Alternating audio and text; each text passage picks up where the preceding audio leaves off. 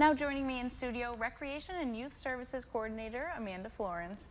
Hi again, how are you? Good, how are you doing? Good, good. I wanted to ask you, so um, how has the summer been? You've been doing so many events with Broome County Park. So. Yeah, we had such a successful summer and we are just so happy for all the community support through the summertime mm -hmm. and moving into the fall season. We hope to see the same.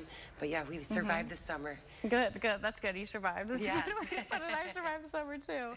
Okay, so you have the fishing derby coming up. That's one of your fall events. So tell me a little bit about that. Yes, so the Broome County Sports or Federation Sportsman Club actually hosts this event for the past 50 years. Mm -hmm. And we are just so happy to partner with them and help them continue this event. Um, to continue to grow each mm -hmm. year. So yeah, it's this Saturday, September 14th from 10 a.m. to 2 p.m. at Nathaniel Cole Park. It's free for youth from ages 1 to 15 years old. Mm -hmm. They're going to have prizes every 15 minutes, so you don't have to catch a fish necessarily to win a prize. okay, so good. it's just to bring community out and to give the opportunity for youth to engage in fishing for the first time, the second time, or the fourth time, mm -hmm. and just provide a low cost for families and provide the opportunity um, out yeah. there in Colesville. Yeah, a day of fun to learn new things.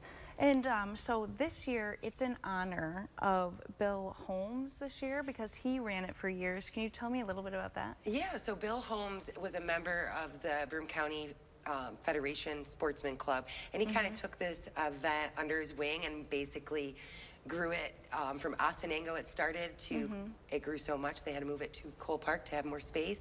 So unfortunately, he passed away last um, year, and in honor of him, the club decided to name it the annual Bill Holmes Kids Fishing Derby. So we're happy to support them, and he was a great man, and we want to continue his um, love for youth and fishing for children. Yeah, yeah. You know, I talked to his daughter and his wife, and they there's a bench there now for him, which is really nice that you guys were able to give to him. So that's very nice of you guys, because like you said, took this under his wing and he really made it a big thing for the kids. Yeah. And go ahead. No, I was just saying that bench was the like the least we could do for all that he's done for our our park and mm -hmm. our mm-hmm. community, and that was one way we wanted to honor him and his family. Yeah. So what's like your favorite part of hosting this Kids Day and the Kids Fishing Derby? Well, I think since social media got wind of it, we've been helping with that area of things. I think it really has grown, which is amazing because, I mean, the attendance just keeps growing every year. So, you know, hundreds of kids get to come out and just mm -hmm. be able to have this opportunity. Just inspires you know us to continue to do more events and partner with other organizations like the Federation um, Sportsman's Club. Mm -hmm.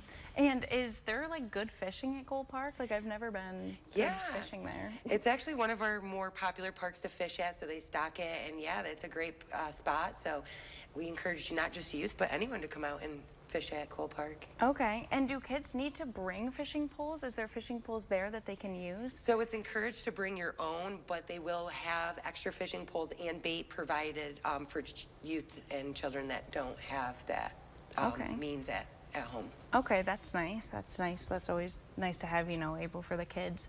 And other than this fishing derby, you know, you talked about another busy fall. So can you tell me a little bit about events coming up?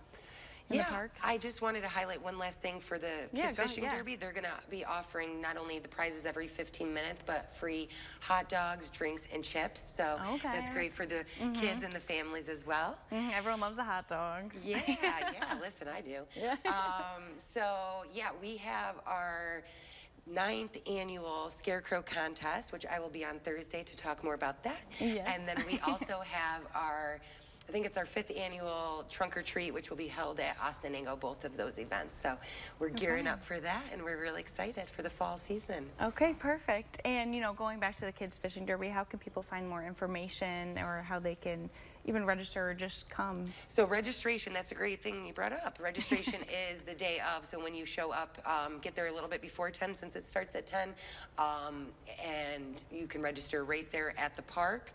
So that way you don't have to do any pre-registration online.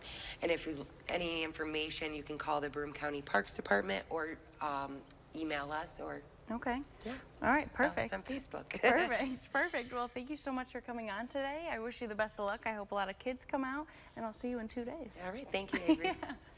For those of you who might have missed those details, Broome County Parks partnering with Broome County Federation of Sportsmen's Club will be putting on the W. Bill Holmes Annual Kids Fishing Derby.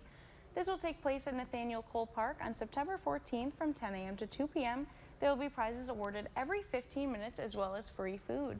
To learn how to fish, bring your children ages 1 to 15 this Saturday. For more information, please reach out to Bob Haynes at 607 785 0939. And after